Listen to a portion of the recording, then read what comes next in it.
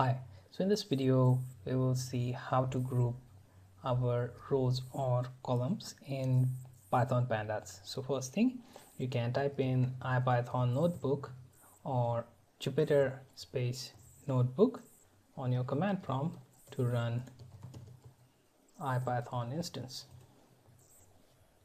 You should open IPython on your browser.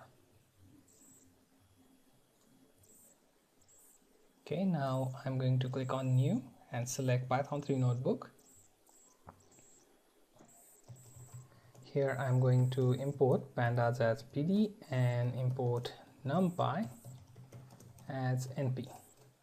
After that let's add sample data and also create one data frame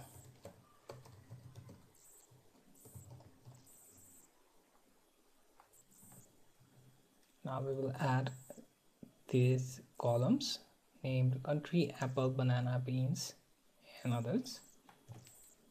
Just type in columns and inside that simply add each column in array. Now we will print out our cell.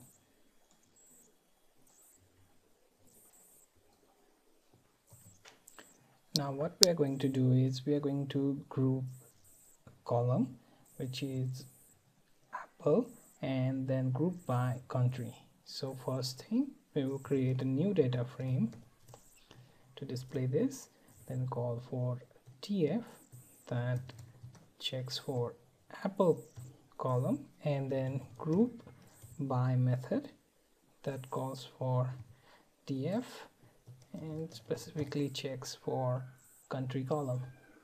After that simply type in fruit. It should show you that object is created. Now I want to display the content of this object. Then I'm going to use dot head method.